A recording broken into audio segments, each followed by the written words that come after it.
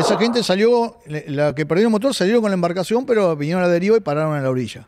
Ellos informaron de la gente que había en el hotel. Pero después no hubo más, no quedó, si, teóricamente una embarcación grande tenía que ver con un, un tráiler y, un vehículo que lo remolque. No quedó nada, no encontramos nada en, toda la zona donde hay bajada de lancha. Así que nosotros estimamos que haya quedado gente en, el hotel. Teóricamente han ido a sacar fotos, a divertirse, y como pasó esta situación, hubo una gran confusión.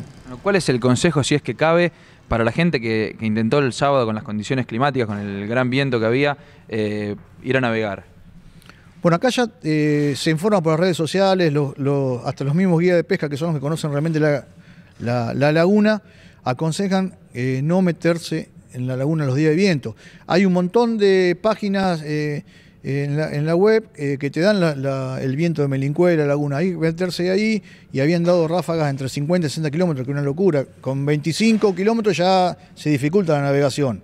Entonces, eh, tener la precaución de fijarse el viento antes de venir y para no, para no meterse a la laguna en condiciones deplorables, porque son eh, la laguna vos las ves de afuera, no parece, pero cuando entras son tremendas las olas. ¿No hay ningún organismo que pueda impedir el ingreso cuando hay estas condiciones climáticas?